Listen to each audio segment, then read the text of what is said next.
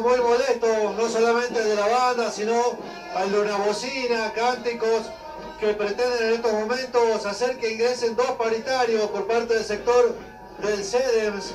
Y es allí entonces donde los docentes están tratando de que se pueda dar esta posibilidad teniendo en cuenta de que se había pactado que iba a ser un solo paritario el que represente a este sector de los docentes de enseñanza media y superior. En estos momentos, bueno, ya ha frenado un poco la banda, podemos hablar y vamos a ver qué es lo que pasa en torno a este pedido concreto que están haciendo para ver qué es lo que se va a requerir en la jornada de hoy.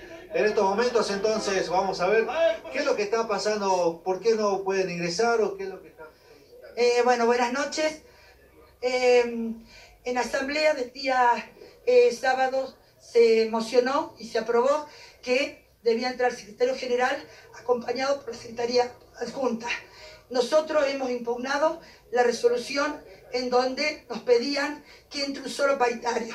Nosotros queremos que se aplique la ley de paritaria nacional en donde dice que deben entrar tantos paritarios que sean proporcionales a los afiliados que nosotros tenemos. El CEDEN es uno de los, eh, de los gremios que tiene mayoritarios en afiliados. Así que nosotros queremos que esto se cumpla y por lo menos entrar el secretario general y yo. Respecto a esto, ¿ya tienen la invitación hecha para hacer el ingreso o están planteando esta posibilidad de que ingresen dos paritarios? No, sí, ya lo hemos planteado, así que ellos fueron a consultar, seguramente van a venir ahora a informarnos, pero nosotros estamos con la postura que tienen que ingresar dos paritarios como corresponde. Se tiene que definir el tema de ya un arreglo paritario para ustedes en esta reunión, es clave para... No, ahora estamos tocando los puntos que, que han quedado pendientes de 2018, ¿sí? Hoy vamos a arreglar lo que ha sido el 2018. Respecto a un porcentaje de aumento, ya se tiene definido qué es lo que están no, nosotros no hemos bajado, lo que estamos nosotros solicitando es el 65% de aumento, ¿sí? Y ratificado por la Asamblea.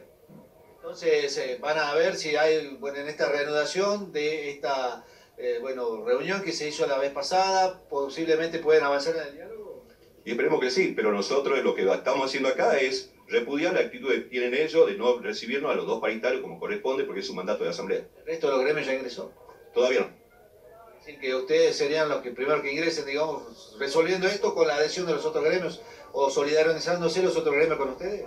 No, no sabemos lo que han determinado los otros gremios, pero nosotros tenemos un mandato de asamblea, así que por eso estamos solicitando ingresar los dos. La ley de paritaria nacional habla que inclusive podemos hasta negociar solos, o sea, no, independientemente de la opinión que tengan los otros gremios. Ya. De nada. Bueno, en estos momentos se, se hacen calmado un poco los ánimos, teniendo en cuenta que están pidiendo que se pueda dar entonces alguna respuesta al ingreso de los dos paritarios como está pidiendo el CEDEMS. Por eso entonces este grupo de docentes que vino marchando desde Plaza Belgrano en la plaza docente, eh, perdón, en la plaza Belgrano donde estaba la carpa docente, puedan entonces tener su ingreso en la sede del Ministerio de Educación. Recordemos que la reunión normal estaba pactada a las 20, 30 horas y este sería el primer gremio en ingresar, el resto que tiene también sus representantes, está pidiendo que pueda reanudarse esta negociación paritaria y que puedan tener condiciones legales para ello. Omar, adelante ustedes.